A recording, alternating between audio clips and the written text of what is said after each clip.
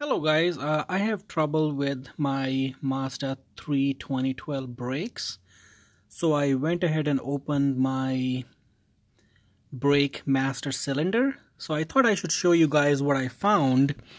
Uh, it's actually very interesting. So I of course went ahead and removed the top uh, bottle looking thing they have here. So it's basically like a screw that goes in here and then once you remove the screw the whole bottle comes out. And this is actually uh, lower cylinder that you're looking right here. Uh, and this is the internal part. So that's where they say, you know, replace the cylinder. So I wanted to actually see what exactly break. I found a lot of YouTube videos where people are uh, showing this internal rubber that breaks but mine look in great condition that they're both of them looks good. Now there's one more piece inside. I cannot take this out and i know they say just hit it hard. I tried like several times. It does not come out. I even use a hammer hit it here doesn't come out. I also blow some air here. It just does not come out. It's like stuck but i can press it so it, it does seems to go down down. Now the strange thing is it was extremely open for me to uh, extremely hard for me to open. And the reason is, so of course, you can put this inside. Here you can see.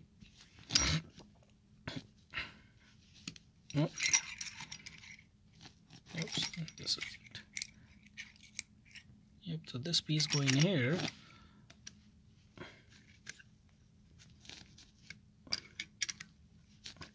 Well, cannot get it out. Oh. Just go like this.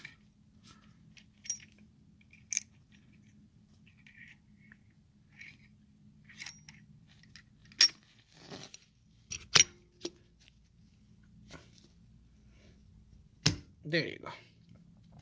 So here you can basically press it like normal brakes. See?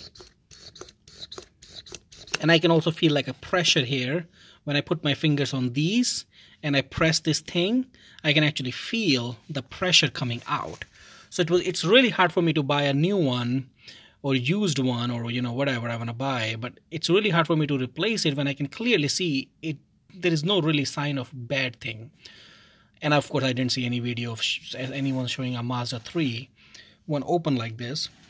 And now the crazy thing is this is like a seal they use on the corner and there is really no like those two holes that you can hold with a plier. They they kind of make it in a way that you cannot open this thing. It, it was nearly impossible. So i basically used like a diamond blade and made like a tiny cut on the corner. And then i basically put like a screwdriver and it was pretty hard for me to like open it. And now of course i have to fight back and forth to get this thing inside.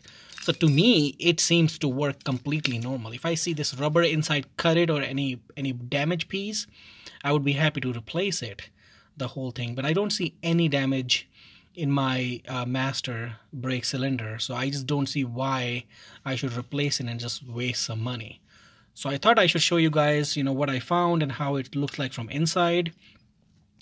Uh, again a lot of people chose me. It's super easy to re remove but i had extreme trouble to remove the screws from here.